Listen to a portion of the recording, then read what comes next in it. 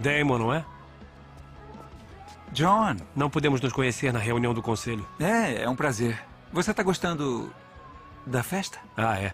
Tinha esquecido como essas festas são divertidas. É, são. Há quanto tempo você não vem aqui? Ah, não tem muito tempo. No enterro do meu irmão.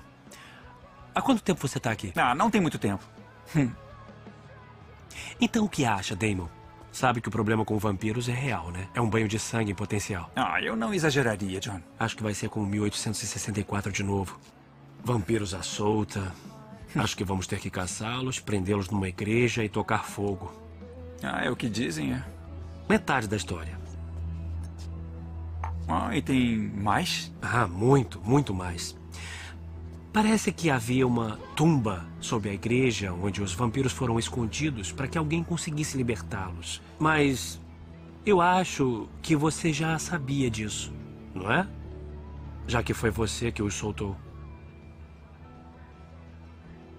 E você tá me dizendo isso por quê? Eu só achei que podíamos pular as apresentações. Olha, John, você sabe que eu posso acabar com você sem que ninguém perceba. Sei, sei. É, beleza, claro. mas deve ter ingerido verbena, então Por que não me morde para experimentar? não vale o meu tempo.